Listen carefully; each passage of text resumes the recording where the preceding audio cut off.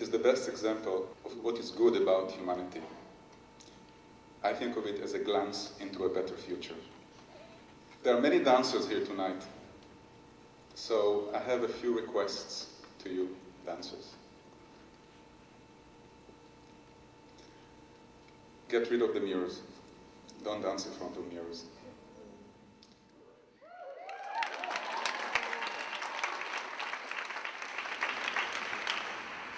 The mirrors spoil your soul and it limits your development. Doesn't matter if you do ballet, any kind of dance.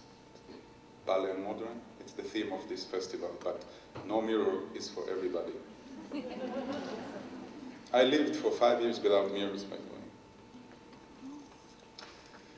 Also, have no secrets.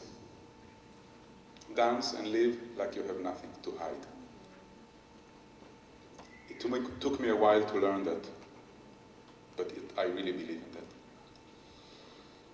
Laugh at yourself. Be silly, not stupid. Remember that lightness is a virtue. Spend time outdoor, look at the sky.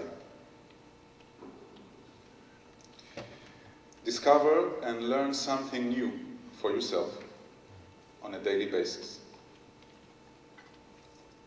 Feel free to change your mind. Your old ideas not necessarily the best ideas. Copy, yet only the good things. and if you get an award, make a short speech. Thank you.